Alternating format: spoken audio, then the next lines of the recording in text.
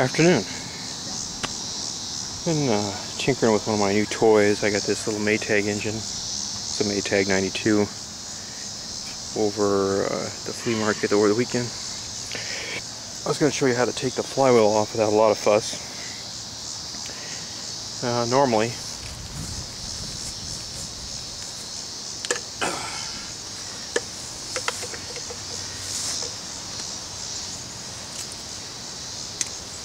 Normally all you do is uh,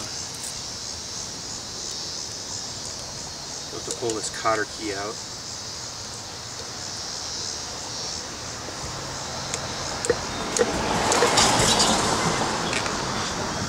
And take this nut off. Don't don't loosen these nuts here.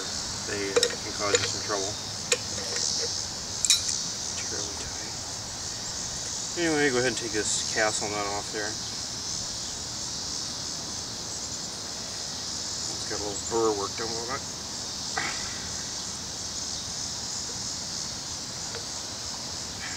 Come on. I kind of want to peek under the flywheel here just to see what's lurking under there. You can kind of see some of the stuff with this access plate off, but oh. not all the things are visible. There might be some nastiness lurking under there. Anyway. Really hurt. I ran a damn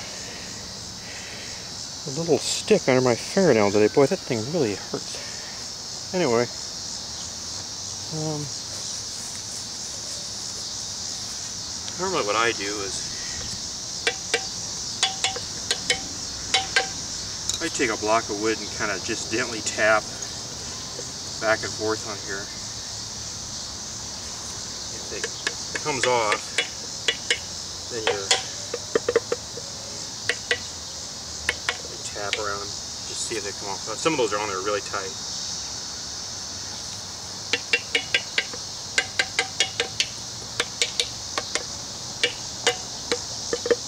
Okay. Well, that's stage one.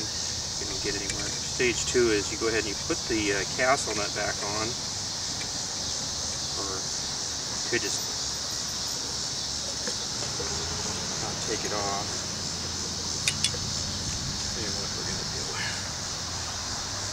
Just so we don't have an accident.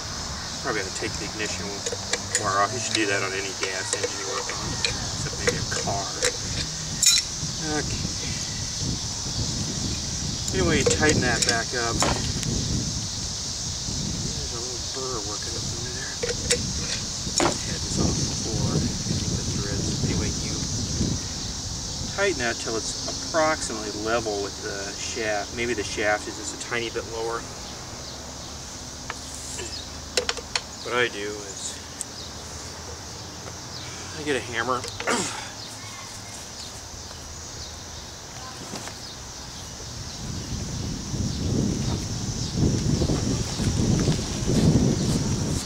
A dead blow hammer would be better but all I got is this one right now. I'm too worried about it. All I do is I grab the thing like this kind of pick it up. Just give it a, a firm tap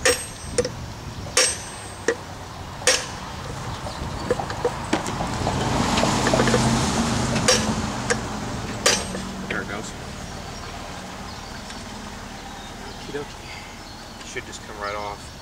If that fails, next thing you can do is take some 2x4s or 4x4s and support the engine around the edge of the flywheel. Not out here, up in here. And anyway, you'll hang the thing on your bench, about a, maybe an inch above the bench. Again, tighten that nut down until it's even, get a block of wood, just tap on it, eventually it'll drop down. The extra pressure will pull it down. Okay, let's peek under here. Oh, let's see if you're... Been having a lot of issues with... There we go. A lot of issues with keeping my stuff in frame. I need a Okay. There's a handy little doodad. It's just a kind of a folding knife, but it uses those carpet knife or those box cutter blades. It's kind of nice. I go through a lot of blades, or I'm always sharpening my knives, and it's always on dumb stuff. So I started, I bought one of those, started using those blades, and I just throw them in a box. Later I use them as scrapers and stuff.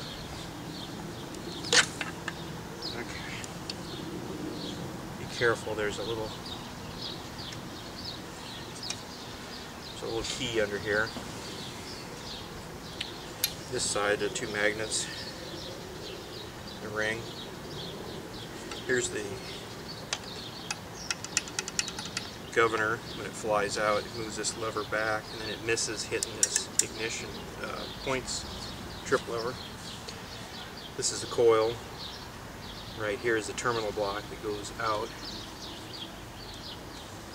And uh, here's the condenser, the points. There's only a couple wires under there. One goes from the coil over to the condenser lead.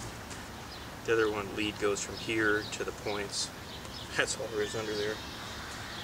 This is in pretty good shape. It's a little dirty Some gunk. Looks like it's some gunk that's run down there.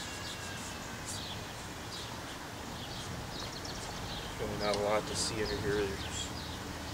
I, I have never taken one of these out, these magnets out of here for any reason. Uh, they probably only go in there one way, but just be aware that this side's got the bigger plate. This side's got the smaller one, the screws. And, uh, three recessed screws, and there's just a normal screw bolt. Oh, take it back. There's another bolt there. I've never seen it before. Never paid attention. So there's five screws into there. They're bolts.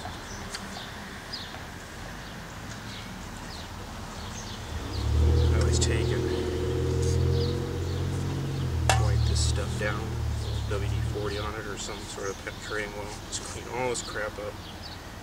The condenser is just held in here with a little strap with two screws. This is pretty simple, really.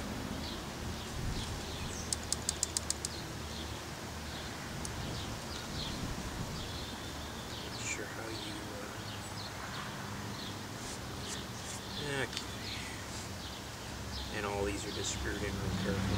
But if you're going to take some apart, sure that you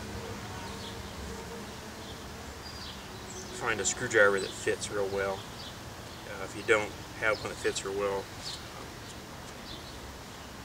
what I do is usually they're too loose and they, you know, they, they're in the screwdriver like blade, a slot of the bolt like that and they're rattling around. As you run them in the grinder or the belt sander down until they fill in start leveling out and uh, fit better. It's not worth screwing up a screw on something like this. And some of these screws are very soft. There's some over where the carburetor is. There's some little brass screws and they're very soft. You have to have a well-fitting screwdriver. Screwdrivers aren't that expensive. There's no reason not to modify one to make it fit. There's a little dirt under here. Nothing major. There's a... I mentioned earlier that this thing had been repaired. Somebody welded it. They didn't do a very good job on this side. They did a good, good job. I might trench that out, weld it back, and sand that down. It won't hurt anything. It isn't perfect, but nothing ever is. Anyway, that's all there really is under there that I was interested in. Go ahead and snap this back on. Find your keyway, and then there's a little keyway there. Let's go ahead and line that back up real careful. Trying to rattle it around in there too much. There we go. Spray a little WD-40 Use regular oil on there too. There's a little burr on there. I've seen it. It's on the very beginning of the shaft, somebody obviously hit the thing with a hammer. And it's starting to wear off. Either the nuts wearing off or the screws wearing off. There's a little hole in there where that cotter key goes. Just tighten that up. And find out where the hole is. It's right there actually. It's just a little bit past it.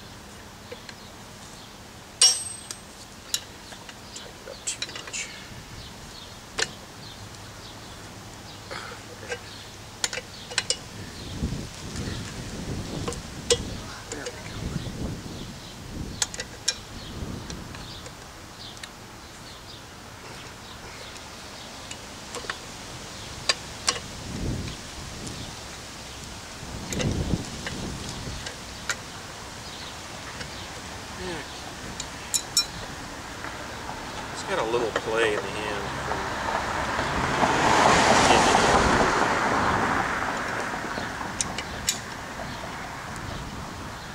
Anyway, um, if you're in the aircraft industry, you don't reuse cotter keys. It's a big no-no. If you're in the farm industry, it's fair game.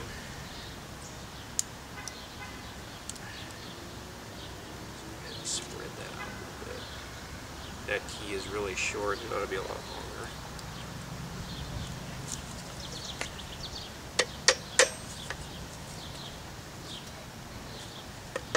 doesn't fit really super well. It's got a lot of a lot of play this way. It might be missing a shim or something. You never know what happens when people take these apart. I don't like that nut being loose in here. Maybe it's just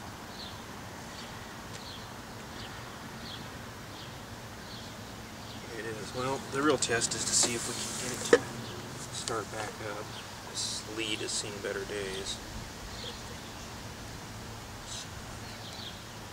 Really pretty rough.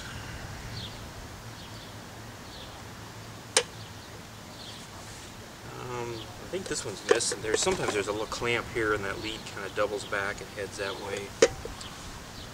This one had a coating on it of some kind. Looks like a, maybe a varnish or shellac or black. Well, it wasn't be plastic. Something. Okay.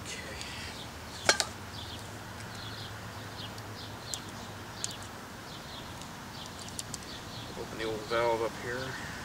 Carburetor valve. Oh, let's see if it'll start again after I messed with it. I really didn't touch anything. Um, again, don't fiddle with these screws or these bolts here that holds that flywheel on that um, on that little adapter.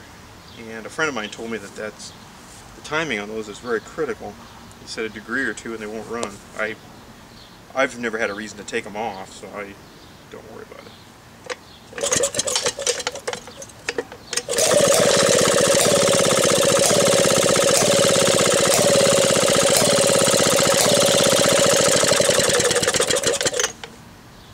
Okie dokie. Well, another successful mission. I'll probably clean that up. And uh, that's actually in pretty good shape. Like I said, that you can see it or not, there's a big gouge out of there, one side there, where somebody, I bet somebody dropped that thing. It's kind of sad. I don't know when that was made. There's a, I believe there's a serial number calculator on the web. There's probably some document somewhere too. That's okay. I can look it up later. It's not, I'm not gonna die if I don't look it up this second. Uh, the main purpose of this was just show you how to how to pop that flywheel off. It's not a lot of fuss. If you feel like you're getting too rough with the thing, just stop. Um, get a friend that's maybe a mechanic or a machinist or just uh, look on the web there may be some other ways. I've always used those uh, three ways. I always start out with the block of wood and just tap on the thing and you just tap back and forth. And it, it may take a while. I mean, well, one place I worked, we had big standby generators that were uh, propane powered that sat on con little concrete pads outside in shelters. And the starters were burned down in them. And you had to take the flywheel off to replace the starter. And um, I would just take a I had a one one foot long 4x4 that I just would tap around on there. Other guys over there pullers and pounding on them with hammers. And the boss caught me doing that one day. And he said, well, how come nobody else does it? I says, I don't know. I... So needless to say, I had to, he conned me into showing other guys how to do it. I'd mentioned it before, but you know, you can't, you can lead a horse to water, but you can't make them drink. And that's fine, you know, everybody's got their own way of doing things. Uh, so I always use the block of wood first. If that doesn't work, like I said, back that nut off till it's pretty much flush and maybe a little bit proud of that shaft. You want to protect the shaft. You can replace the the nut easy enough. The shaft is a different story. And then give it a pick it up with your hand on the one edge like I showed you and give it a, a firm smack. You don't got to beat it into the ground. It may take a couple whacks. Um, The other thing it might help you before you start pounding on the thing is to tip it up on end and put some penetrating oil in there. There's a lot of good penetrating oils. Uh, you know, WD-40's been around for everybody. everybody loves WD-40. Uh, actually, if you want um, a product I will recommend, I'm not a big recommender of things, everybody's got their own ideas, is uh, it's a product called Kroil. It's expensive, it's hard to find. You see it at a lot of the, uh, if you go to a gun show, a lot of guys use it there. It's a pretty good product. It's very expensive though, and it's hard to find. Uh, but it, and it, and it does have an unusual smell, but it does creep into places. It's formulated to break into places. There's some other penetrating oils. Uh, there's Liquid Wrench, and and I'm sure I'm forgetting some of the other ones. Uh, there's probably some homemade ones guys are using with you know kerosene and a drop of you know blood from a viper and some other mysterious things. Uh, those are the ones you can get on a shelf, kind of, and they work. Anyway, put some of that on there before you get to pound on the thing. Another thing that might help you, I don't recommend it right off the bat, is uh, you may want to warm that up with a torch or I would I would get a uh, maybe a heat gun or hair dryer and warm that that part underneath the uh, castle nut up. It might expand a little bit and break it loose.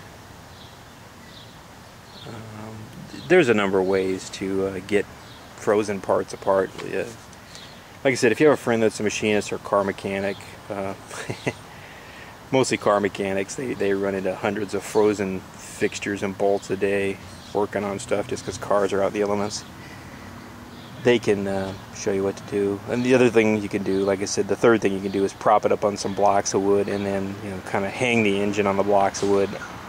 I've got some that are cut, and uh, it. Uh, I've got a little piece of um, kind of rubbery foam. I think it might have been an old seat out of a back of an old Chevy or something. And I just slide that underneath there so when the thing falls, it just kind of bounces off that rubber. But you can tap on that again on there. Um, just don't get too rough with it. So there's no reason to be unprofessional. Anyway, have a question or comment, feel free to leave it. Go ahead if you like. Uh, subscribe to my channel. I'd like to thank the people that uh, send me email. I get uh, quite a few emails a day um, about this, that, and other thing. This is one of my, I don't know, hobbies slash professions, I guess would be it. Um, I guess if you get paid for something, you're a professional. And uh, I've worked on a number of these over the years. I'm not going to make a big series of videos. There are a number of good series on the on the system already. Um, since I can't keep anything in frame, it would probably be more aggravation than anything. Um, anyway, knock yourself out. Go out find some old engines to play with. There's plenty of them. You don't have to have an old Maytag. You can have a, uh, you know, there are plenty of older Briggs and Strattons. There's a lot of interesting little engines that are fun to play with. and uh,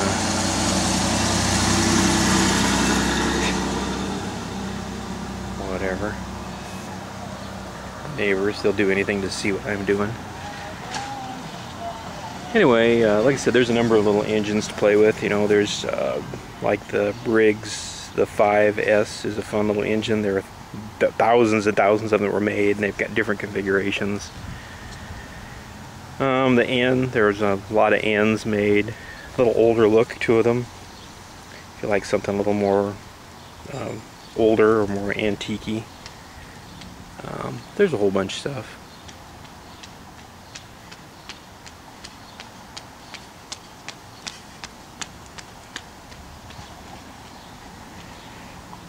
Anyway, so I'll let you go. Like I said, um, you can go out and find some old engines to play with. Um, there's plenty of parts. Um, there's plenty of people that do this for fun.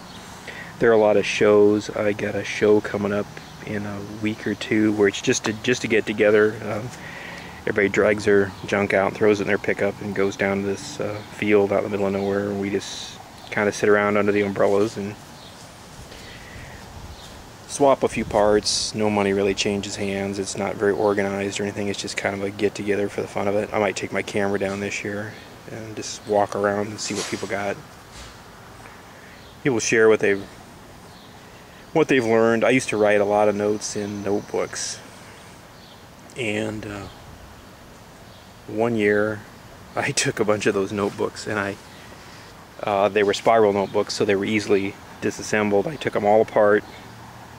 They weren't any really any order. They were kind of in order of how I worked on the engines, and they were dated, but they were you know I worked on a Briggs a few days, and then I went over to some Maytag and then some other stuff. So they're more of dates than they were of how I worked on stuff. Anyway, just for fun, I. Uh, photocopied those and passed a few of them out. I got a good response out of that. You guys found that pretty interesting. It's kind of before the internet though. It got real popular. So nowadays, most of that stuff's on the internet. So the notebooks just sit on the shelf. More of a reminder to me on how to do stuff. Well, I suppose I've gibby gabbed long enough. And you've probably clicked the pause button or went on to the latest cats talking video.